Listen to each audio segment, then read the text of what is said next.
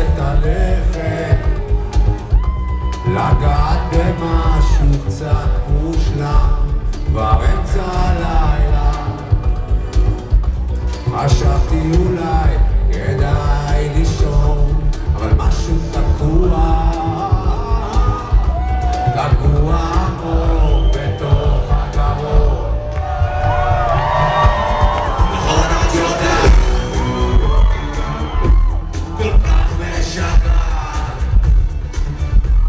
English.